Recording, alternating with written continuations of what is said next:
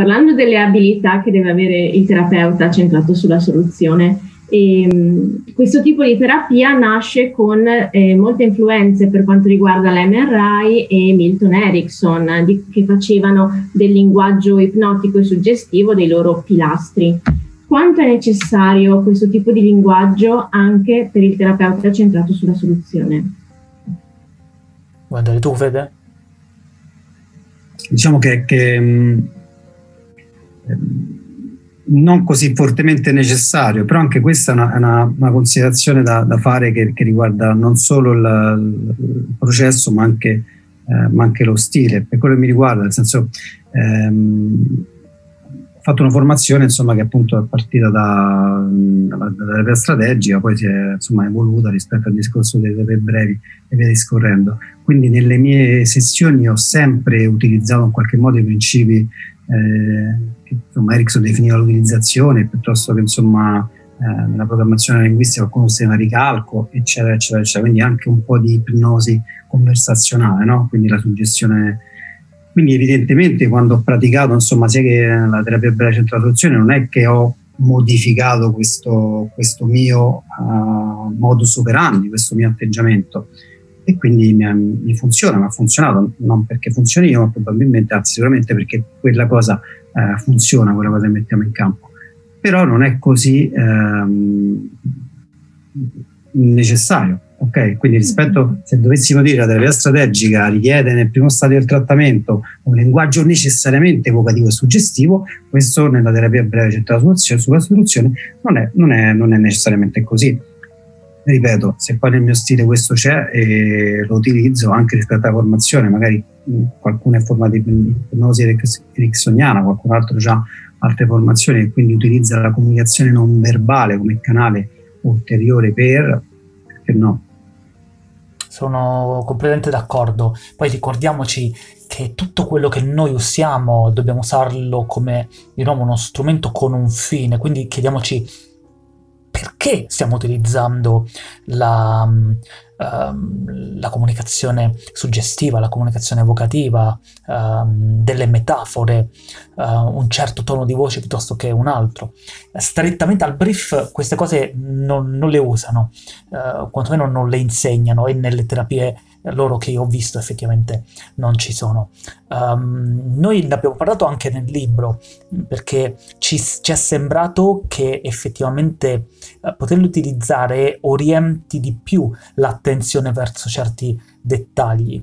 Tu sai che um, epistemologicamente è piuttosto complesso e affascinante come modo di procedere, quindi non c'è nella terapia centrata sulla situazione, quindi non c'è una teoria forte. Non essendoci la teoria forte è anche difficile aggrapparsi e capire se usare una o l'altra tecnica. Loro vanno per un principio di cosa funziona. Quello che vedo già nelle sedute che funziona, studiano le sedute, no? Le registrazioni. Vedo che è stata fatta una cosa, funziona, provo a replicarla per vedere se continua a funzionare. Nel caso in cui funziona, allora diventa un elemento del loro modello.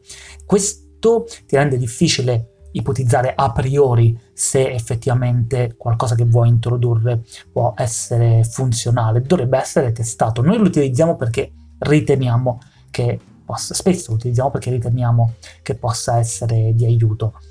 Se una persona non è formata a utilizzare questo tipo di linguaggio, farà come al brief, al brief le cose funzionano benissimo uguale. Va bene, grazie. Allora, e concluderei con la partenza di una seduta di terapia seduta singola, eh, terapia breve centrata sulla soluzione, che chiede eh, quali sono le tue migliori aspettative da questo incontro.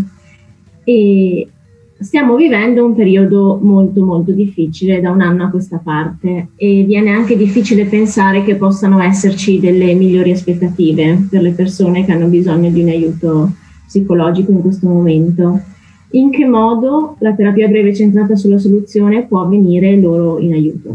Guarda, um, è una domanda che mi emoziona un sacco perché in realtà qui si vede la potenza della una delle forme di potenza della terapia centrata sulla soluzione.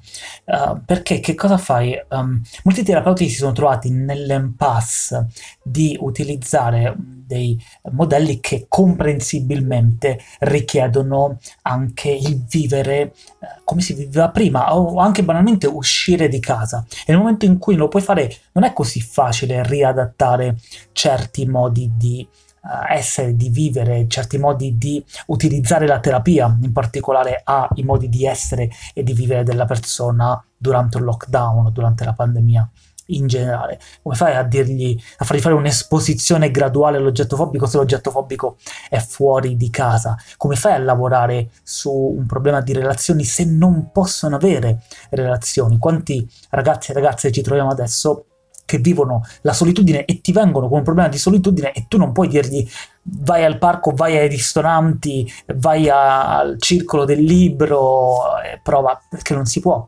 Ecco, la terapia a breve centrata sulla soluzione nel momento in cui chiede alla persona di immaginare, eh, per esempio, il giorno dopo il miracolo, la sua migliore, ancora prima, come hai detto tu, la sua migliore aspettativa nella condizione di adesso. Non sono io terapeuta che ti dico questo è l'obiettivo, lo chiedo a te, qual è la tua migliore aspettativa? Qual è la tua migliore aspettativa considerando la condizione di adesso? E questo è fondamentale perché neanche ti devo convincere, neanche ti devo dire guarda però ora non puoi uscire, perché sei tu che dai le valutazioni, sei tu che utilizzo Anzi, sei tu che utilizzi, io ti permetto di farlo, il tuo esame di realtà, se vogliamo metterla così. E poi sei tu che ti proietti, sempre grazie alle domande del terapeuta, nel tuo futuro desiderato che comprende ovviamente questa situazione. E allora, se una persona dice, per esempio, io vorrei um, avere delle relazioni un po' più intense con gli altri, essere più capace di avere relazioni, ma non posso andare fuori. Io nel futuro desiderato ti posso chiedere, ok, cosa di cosa ti renderai conto nei prossimi giorni, nelle prossime settimane, in questo stato di lockdown, di zona rossa, di relazioni limitate. Di cosa ti renderai conto? Quali saranno gli indizi che ti faranno dire che comunque il tuo modo di approcciare alle relazioni, il tuo modo di interagire con gli altri sta cambiando? Cosa che noterai in questo contesto che però ti farà dire che sta cambiando qualcosa. Questo è fantastico perché comple- come l'acqua si adatta al contenitore in cui si viene a trovare la persona in quel momento. Condivido anche rispetto al fatto che il mio um, diciamo, l'incipit delle mie metodi di terapia, questo da sempre, insomma, quindi da quando ho iniziato era, è sempre stata la frase qual buon vento ti porta, no? E, e, questo cioè, era, era, già solution focus, nel senso che non era qual è il problema per cui sei qui, e quindi probabilmente cioè, già era qualcosa che dentro di me insomma veramente andava, andava in qualche modo fiorendo e questo fa sicuramente la differenza perché anche nella, nell'aspetto pandemico la, la scelta di eh, sottolineare quello che ti sta togliendo questa esperienza pandemica rispetto al fatto di invece che opportunità ti sta dando questa crisi, no? o questo momento particolare, cambia completamente la, la possibilità. Poi evidentemente, insomma, eh, sempre essendo aderenti alla realtà, alcune cose vanno rivisitate, però già col futuro desiderabile ci permette di, rivisitare cose che magari non sono subito rivisitabili, no? l'esposizione diceva prima a Flavio, anzi paradossalmente proprio la possibilità di far costruire il futuro desiderato si può fare anche senza toccarlo con mano in qualche modo. No? Quindi è sicuramente un'altra occasione che questo, questa è un'opportunità che possiamo sicuramente cogliere da questo modo di fare terapia. Molto bene. Io potrei aver finito le domande. Diciamo qualcuno, io avrei finito qui. Beh, siamo stati... Vi ringrazio tantissimo. Sì, sei stata bravissima. Risposte super interessanti. Grazie a te per la disponibilità. E, um, ci vediamo online. Vediamo online. per un po' online. A presto. A presto. Ciao a tutti. Ciao. Ciao.